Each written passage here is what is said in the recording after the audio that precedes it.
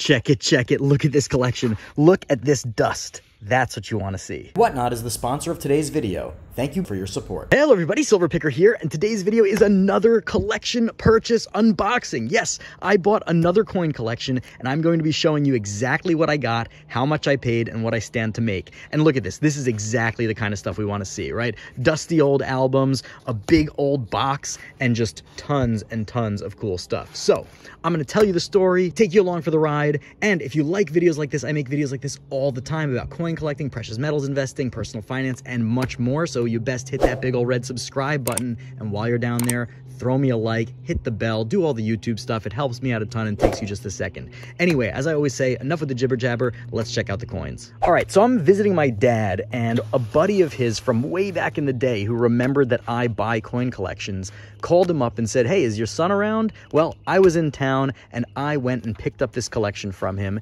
And I'll tell you how much I paid for it in a little bit. But first, let's take a look at what we got. First off, we've got over here one of these albums, United States Commemorative Gallery. And you can see it's got a peace dollar, a walking liberty, a barbered quarter, a Liberty V nickel, and of course a Merc. And it's got all this beautiful display and blah, blah, blah, right? And it says Antique Liberty Collection. And this one is from the United States Commemorative Gallery. Now, we've seen lots of companies like this, and essentially they're scams. They prey on old people who don't really know better. They prey on people who are not sophisticated. And essentially they sell them real coins. They sell them real coins. These are good enough coins, right? But they're usually in bad condition. These are in awful condition. Some of them have been cleaned. And of course, for all you newbies watching, you never clean a coin no matter what. So they're cleaned, they're not in great shape, but they are good coins. But what do they do? They charge like three or four times the actual value of the coins. And essentially that was the story of this collection. So the person I bought it from, he's a great guy. He's a former uh, New York City uh, police officer and he's a general contractor now. He's got his own business. But his father, unfortunately, had dementia. And before he passed, he started buying up all sorts of stuff from, you know, from the TV and whatnot. And all this stuff got bought by his father and unfortunately was probably ripped off. So anyway, now I have the collection and of course most of this I'm going to be reselling because none of it really fits in my collection, but it is pretty cool, especially for a new collector. And there's nothing wrong with this stuff if you pay the right price. So I, of course, paid a percentage of the actual value as opposed to retail, right? This probably retailed for like a hundred bucks, but you know, it's got a $10 uh, George Washington commemorative half here. This is silver, and this is the proof version.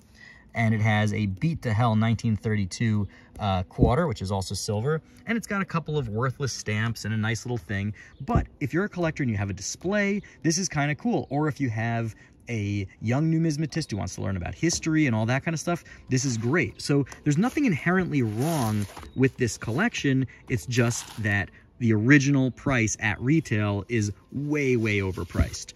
So I paid him 65% of the value of the collection. Normally I pay closer to 70 or 75%, but in this case, a lot of the stuff is a little bit tough to sell, and you'll see why in a minute. But there are some cool things. So here we've got ourselves an uncut sheet of four $1 bills. It's pretty cool. And, you know, it's not worth a whole lot. It's worth about 20 bucks. And it has some literature in here and some nonsense. And, you know, I'm not even sure if some of this stuff originally belonged to this set. But, you know, it's still a cool piece either way. We got a couple more books over here. This one's actually pretty cool. Last Silver and U.S. Coins and Silver Certificates. Postal Commemorative Society. I mean, whatever that is, right? So we've got ourselves the history of U.S. silver coins and silver certificate. I mean, it's a nice little display. You see here we've got a peace dollar, we've got a Kennedy half, we've got a silver quarter, and we've got a silver dime. But you can also see these are like not in great shape. Look at this. This thing is like sandblasted basically. So it's a shame because, you know, they're basically ripping off old people, um, old sick people in this case. These are the 40% uh, bicentennials. This is a pretty nice set, actually. And this whole set is actually really nice. It's just, like I said, and I'm going to be a broken record on this, the only issue is that the retail was basically a massive, massive ripoff. You know, look at this. This thing is worth a dollar fifty maybe in this condition. And it probably this portion accounted for, you know, several dollars, maybe 10, 15 bucks worth of the whole set. So, Anyway, you can see I'm doing this sort of old school style, right? Where I've got my shaky camera, we're doing it outside, I'm visiting my pops. So, you know, we do what we got to do. U.S. Historic Currency, Postal Commemorative Society, that's one I've never heard of. Have you guys heard of that? Anyway, $1 silver certificate. We've got a stamp, we've got a silver quarter, another stamp. Let's see what else we got here. We got the US note red seal $2 bill, which is pretty cool. We've got just a random nickel and we've got the $5 uh, US note, and again, a random penny, 1963. It's not even a proof. See, they really, I mean, they do a great job of displaying, but it's all in the purposes, essentially, of scamming. Or I should say ripping off. I don't know if I would call it a scam. A scam would be selling fake coins. This is more of just a ripoff, your garden variety ripoff. Okay, now I'll show you some more stuff. We got the whole box here, so you got to stay tuned, right? This is stuff that I actually said to him, look, I can only pay face value on some of this stuff because it's really, it's really worthless. I mean, this one over here, look at this. We've got three Jefferson nickels. You can see they are not war nickels. They are literally just nickels in ratty shape. So with this, even though it's a nice little display, I paid him literally 15 cents for this. Also, by the way, I get some comments sometimes of people like really not being charitable to what I say. When I say I pay, you know, 60, 70, 80% of, of market value, I'm referring to the value that you could sell this stuff for, not face value. There's several people who have commented where I say, yeah, I paid 75% of market value who think that for a $10 bill, I'm giving $7.50, which is ridiculous. Of course, I'm not doing that. I'm giving of the market value. So, for example, if this this quarter is worth five bucks, I'm giving, you know, 75, 65, whatever the percentage that I and the the seller agree on of that, not a 75% of the quarter. This, of course, had a war nickel. So this one I paid uh, for the war nickel, which you see there, 1943p. But all of this stuff, I mean, it's literally, I mean, it's just a, a dollar coin and it's taped onto a nice little thing, but it's it's really nothing special. So they're great for young numismatists. There's really nothing wrong with it. It's just, again, about what people pay. So I've got a whole mess of this stuff. We don't have to go through all of them.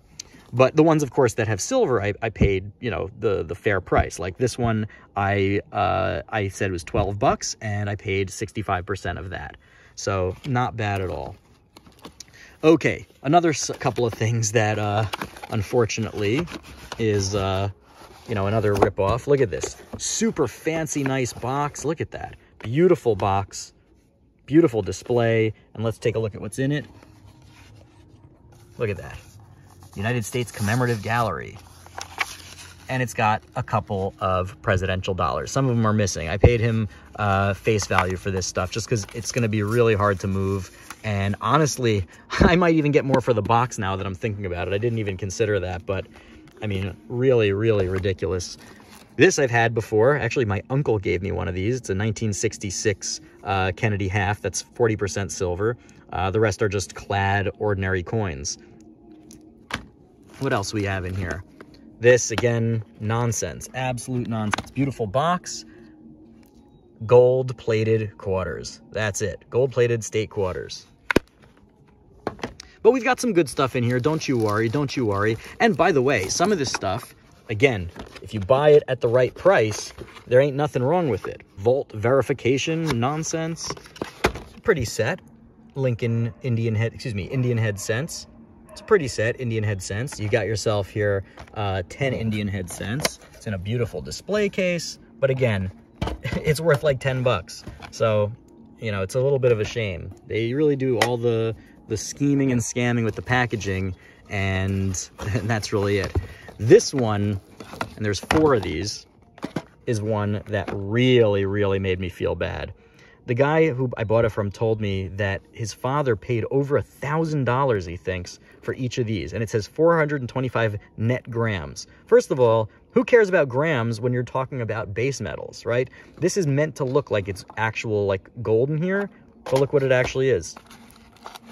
It's a tube, an impressive, nice, cool tube, but it's a tube of John Adams tube of presidential dollars. Yes, they're all mint. They're all great. I mean, these do go for about $75 a piece, but if the guy originally paid a thousand, I mean, that's highway robbery. Absolutely highway robbery. So anyway, by the way, I should point out that I am going to be selling all of this stuff at my next Whatnot auction. If you don't know what Whatnot is, well, you've been sleeping because Whatnot is an incredible live video auction platform in which bidders and sellers come together in real time to buy and sell all sorts of collectibles. Obviously, I'm into the coins and precious metals and stuff like that, but they've got everything you could want. They've got trading cards, sports cards, comic books, video games, even sneakers. They've got anything that you could possibly want to collect. And on top of that, if you use my link to download the app, that's whatnot.com slash invite slash silverpicker, not only do you get access to this incredible platform absolutely for free, but you also get $10 in whatnot credit to use on anything you want, right? Hold up, hold up, hold up, hold up. Editor's note.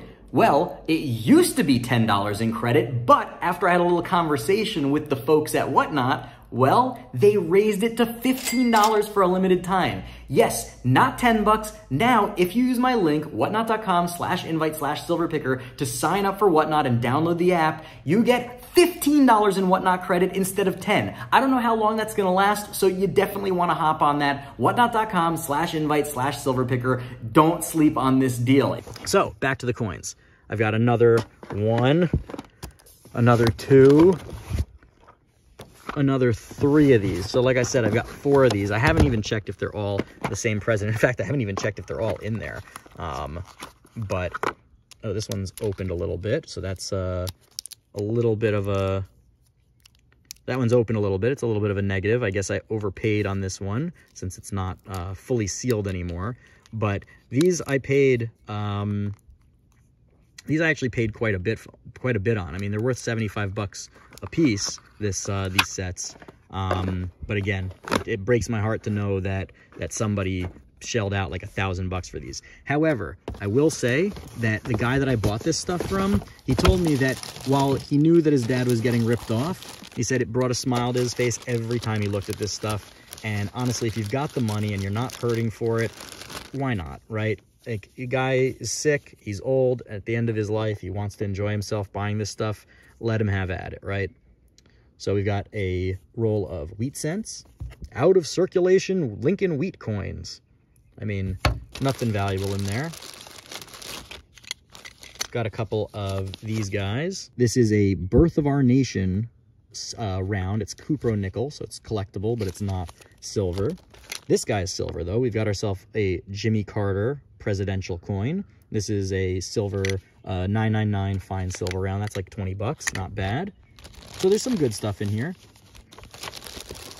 We also have a couple of Morgan dollars. This one's in 1893 no mint mark. 1893. This one's actually in pretty good shape, not cleaned for once, which is surprising. We've got one of these. I almost missed this. I didn't even, I thought this was just like a junk token until I realized that it's an actual colorized uh, Morgan. Hideous, in my opinion, 1921. Absolutely hideous, but it is indeed a Morgan, so it's good for silver stackers. What else we got? Oh, another hideous colorized coin. Although this one's a little bit better. This one is an American Silver Eagle and it is memory of the World Trade Center. You know, it's, it's hard for me to like make fun of this coin, right? It's, it's, I mean, it's a, a, commemorative honoring the world, you know, honoring the memory of the World Trade Center, and it says God bless America. But the reality is, is it's still, you know, destroyed this uh, this um, American Silver Eagle, and frankly, I don't think they did such a great job on on the design here. But you know, what am I going to do? I'm not going to criticize uh, Memorial to the World Trade Center. Got ourselves a random 1919 Merc. And in this baggie over here, what do we have? I think we got another Morgan. Yep, we got ourselves another Morgan, this time in 1879. I think also uh, 1879D. Uh, that one I think is cleaned. What else we got? What else we got? Bag of presidential dollars. I paid face value on those. Ah, much more of this stuff. So again, we've got ourselves a beat to hell 1921 cleaned Morgan silver dollar with a couple of stamps. Uh, I'm sure this thing retailed for an absurd amount. Uh, I valued these at 32 bucks a piece and paid out, uh, again, the same percentage. Another one of those. That's a peace dollar. Another peace dollar. Some stamps. And this one is a holographic uh, Washington State State Quarter. It's actually pretty uh, cool. It's pretty beautiful. It just happens to be uh, worthless. there was a little bit of currency, old currency. There's nothing really interesting in here. It was just uh, $1 silver certificates and two older 20s from the 1950s. So, you know, it is what it is a bunch of literature, you know, certificates of authenticity, which of course, you know my feeling on that. Uh, if you have to give a certificate of authenticity, anybody can print one of those out. Uh, so you never rely on the certificate of authenticity. Oh, what is this? I don't even remember this guy. Ah, okay, yes, yes, okay.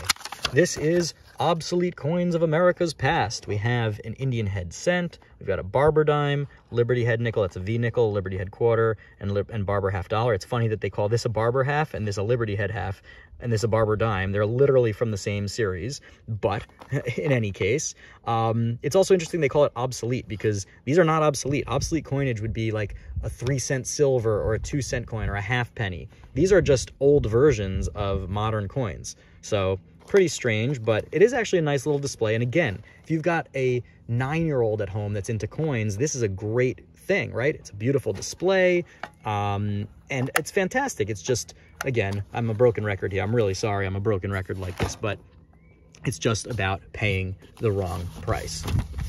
So I've got a couple more of these boxes. Uh, again, these are really nothing special. They've got like a couple of presidential dollars in here. I paid him face value for those. I know I can sell them for a little bit more than face. I told him that, but I said, look, it's, you know, he said he's not gonna, he's not, he does, he's not interested in uh, keeping any of this stuff. He just wants it out of his house. And I told him I'm not really willing to pay you know, more than uh, face value for this stuff. So I said for, he should give it to his grandkids instead. But he said they're not interested in it. And what does he want for $3? He said just pay him face value and it gets it out of there.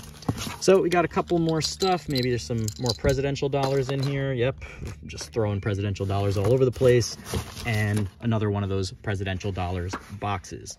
So check it. You can see I've made an entire absurd mess, but I'm, I'm filming on the fly here. I'm filming on the fly. This is an old school style video. I'm at my dad's place and I'm enjoying myself. And frankly, you know, sometimes you want to have a little throwback. But anyway, what did I pay for all this? So the collection came out to be worth, I don't remember the exact numbers, but it was worth about 850 and I paid something a little over $500 for it. I think I paid like uh, eight I think I paid like 560 for it, something like that, 560, and it's worth about 800 and change. So I think it came out to about 65% of the value. Again, normally I'll pay a little bit higher if it's stuff that's easier to sell. But again, like this kind of stuff, I have no idea what the demand on this is gonna be. Um, but anyway, I really hope you enjoyed watching this video. Again, if you're interested in any of this stuff, I'm gonna be selling it at my next Whatnot auction check out the link in the description, whatnot.com slash invite slash silver picker. And I've got a lot more stuff like this. I'm doing more collection buying than I've ever done before. So you best hit that big old red subscribe button and come back for more. I really had a great time with this video. I cannot wait to see you again. I got a lot more some stuff coming down the pike. So stay tuned. And until then, silver picker out. A huge, huge thank you to all of my wonderful patrons. If you're not yet a patron, join the Patreon. The links are below, and you'll get access to my private Discord group in which all sorts of collectors come together to talk shop, talk coins, and just have a good time.